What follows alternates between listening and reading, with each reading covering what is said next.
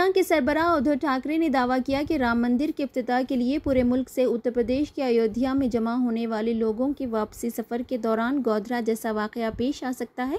सत्ताईस फरवरी 2002 को अयोध्या से साबरमती एक्सप्रेस पर वापस आने वाले कार सेवकों पर हमला किया गया और गुजरात के गोधरा स्टेशन पर उनकी ट्रेन के कोच को आग लगा दी गई, जिसके नतीजे में हलाकतें हुई। इस वाक़े के रियासत भर में बड़े पैमाने पर फसादात हुए थे। ठाकरे ने जलगांव में एक जलस्याम से खिताब करते हुए कहा कि ये इम्कान है कि हुकूमत राम मंदिर के अफ्ताह के लिए बसों, ट्रकों और ट्रेनों में बड़ी तादाद में लोगों को मदू कर सकती है और उनके वापसी के सफ़र पर गोधरा की तरह का वाक़ पेश आ सकता है। राम मंदिर का लोकसभा इंतबात से कबल जनवरी 2024 में अफ्ताह का इम्कान है। ठाकरे ने बीजेपी और राष्ट्रीय सीएम सेवक सिंह को भी तनकीद का निशाना बनाया। बिरयानी खाने के दौरान दही के मसले पर हुए झगड़े में जख्मी नौजवान की मौत के मामले में पुलिस ने कत्ल का मुकदमा दर्ज कर लिया है और फ़राइज़ के अंजाम दही में लापरवाही के इल्ज़ाम में दो मुलाजमीन पुलिस को मअतल कर दिया गया है। तफसीत के मुताबिक हाशिमाबाद से ताल्लुक़ रखने वाले लियाकत कल अपने दोस्तों के साथ पंजागुट्टा इलाके की होटल में खाना खाने के लिए गए हुए थे। बिरयानी के साथ इजाफी दही तलब करने पर होटल वर्कर्स के साथ उनका झगड़ा हुआ, जिसके बाद होटल वर्कर्स ने लियाकत को शदीद तौर पर ज़ख्मी कर दिया था। इस दौरान पुलिस वहाँ पहुँची और उन्होंने होटल वर्कर्स के साथ लियाकत और उनके दोस्तों को भी पुलिस स्टेशन मुंतकिल किया। लियाकत के दोस्तों के मुताबिक पुलिस स्टेशन मुंतकिल करने के बाद लियाकत को सीने में दर्द हो रहा था और वो बेचैनी महसूस कर रहे थे। उन्हें पानी पिलाया गया, जिसके बाद उनकी तबीयत मज़ीद बिगड़ गई। बताया गया है कि वो फौरी लियाकत को अस्पताल मुंतकिल करना चाहते थे, लेकिन इस वक्त ड्यूटी पर मौजूद सब इंस्पेक्टर ने ताखिर की। शिकायत की गई है कि ताखिर से अस्पताल मुंतकिल करने की वजह से लियाकत को बर वक्त तिबी इमदाद नहीं मिल सकी। इस वाक़े की इतला मिलते ही कायद मजलिस मखना अकबरुद्दीन ओवैसी की हिदायत पर कल रात मिर्ज़ा रहमत बे कादरी रुकन खान साज कौंसिल मजलिस और समद बिन अब्दास सबक कॉरपोरेटर मजलिस ने अस्पताल पहुँच कर तफसलत हासिल की और पुलिस के आला अहदेदारों से नुमाइंदगी करते हुए कत्ल का मुकदमा दर्ज करवाया। अकबरुद्दीन ओवैसी ने इस सिलसिले में commissioner police Hyderabad C V Anand से बातचीत की और उन्हें मुलाजमीन पुलिस की मुबैना लापरवाही के ताल्लुक से वाकिफ़ करवाया, जिसके बाद कमिश्नर पुलिस ने पंजागुट्टा पुलिस के सब इंस्पेक्टर शिव शंकर और हेड कांस्टेबल रमेश को मुअत्तल करने के अहकाम जारी किए।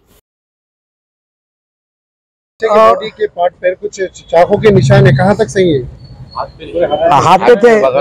बगल में मारे बगल में तोड़ दिए फसलियाँ मार के उसके चाकू से हमला हुआ? सीने पे नहीं नहीं चाकू से नहीं हुआ। वो घुसे से मार के लाता नीचे गिरा के लाता मारे उसको। तीस तीस बगल के बाद तीस तीस आदमिया।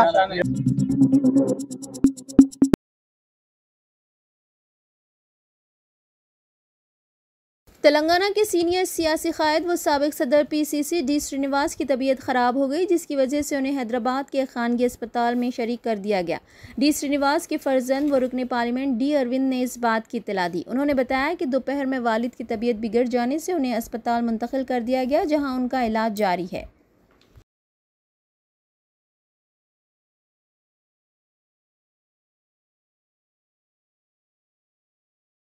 Thank you. वज़ी अजम नरेंद्र मोदी ने नई दिल्ली में सऊदी अरब के वली शहजादे और वज़ी अजम मोहम्मद बिन सलमान बिन अब्दुलज़ीज़ अल सऊद के साथ मंगल के रोज़ दो तरफ़ा और वफद की सतह की बातचीत की। दोनों रहनुमाओं ने दो तरफ़ा ताल्लुक़ के मुख्तलिफ़ पहलुओं का जायज़ा लिया और हिंदुस्तान, सऊदी अरब अहम नौीयत की साझेदारी की सलाहियतों को मज़ीद बरोकार लाने के तरीक़ों पर तबादले ख्याल किया। मोदी ने कहा कि हिंदुस्तान, सऊदी अरब साझेदारी ख़त्े और दुनिया के इसकाम और फलाह व बहबूद के लिए बेहद अहम है। है। उन्होंने कहा कि हिंदुस्तान, मगरबी एशिया और यूरोप के दरमियान एक तारीख़ी इकतसादी कॉरिडोर शुरू करने के बारे में कल फैसला किया गया है। वज़ी अजम ने कहा कि ये कॉरिडोर न सिर्फ़ दोनों मुल्कों को जोड़ेगा, बल्कि एशियाई, मगरबी एशियाई और यूरोप के दरमियान इकतसादी तरक्की और डिजिटल कनेक्टिविटी फ़राहम करने में भी मदद करेगा। मोदी ने कहा कि वली अहद शहजादे की क़्यादत और विजन 2030 के तहत सऊदी अरब में बे इंतहा इकतसादी तरक्की हुई है। सऊदी अरब के वली अहद शहजादे ने कहा कि हिंदुस्तान सऊदी अरब ताल्लुक़ की तारीख़ के दौरान कभी भी कोई नाइतफ़ाक़ी नहीं हुई है, बल्कि दोनों ममालिक के मुस्तबिल की तमीर के लिए इश्तराक और मौाक़े पैदा हुए हैं। हिंदुस्तान सऊदी अरब स्ट्रेटजिक साझेदारी कौंसिल की पहली मीटिंग की मुश्तरका सदारत करते हुए वज़ी अजम नरेंद्र मोदी ने कहा कि हिंदुस्तान के लिए सऊदी अरब इसके इंतहाई अहम साझेदारों में से एक है। उन्होंने कहा कि दुनिया की दो बड़ी और तेज़ी से तरक्की करने वाली मीशत के तौर पर पूरे ख़त्े में अमन व इसकाम के लिए आपसी इश्तराक ज़रूरी है। मोदी ने कहा कि बातचीत के दौरान दोनों मुल्कों ने साझेदारी को अगली सतह पर ले जाने के लिए कई इकदाम की निशानदेही की है। उन्होंने कहा कि आज की बातचीत से ताल्लुक़ को नई तोानाई और सिमत फराहम करने में मदद मिलेगी। ये हमें बनी स्नान की फलाह व बहबूद के लिए एक साथ मिलकर काम करने का हौसला भी फराहम करेगा। मीटिंग के बाद दोनों रहनुमाओं ने हिंदुस्तान सऊदी स्ट्रेटजिक साझेदारी कौंसिल की पहली मीटिंग की नुकात पर दस्तखत किए। वली अहद शहजादे हिंदुस्तान के तीन दिन के सरकारी दौरे पर आए हुए हैं। उनका आज सुबह राष्ट्रपति भवन में बाबा खैर मकदम किया गया।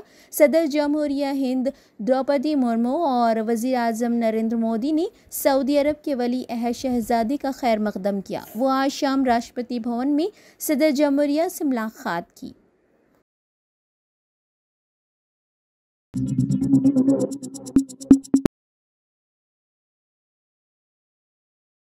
रियासत केरला की पुलिस ने दसवीं जमात के तालब इम को कार से टक्कर देकर ख़त्म कर देने वाले शख्स के खिलाफ मुकदमा दर्ज कर लिया है। ये वाक़ तिरुवनंतपुरम ज़िले के पोर्चल इलाके में 30 अगस्त को पेश आया था, जिसका सीसीटीवी फुटेज वायरल होने के बाद मालूम हुआ कि यह हादसा नहीं, बल्कि दानिशा तौर पर की गई टक्कर है।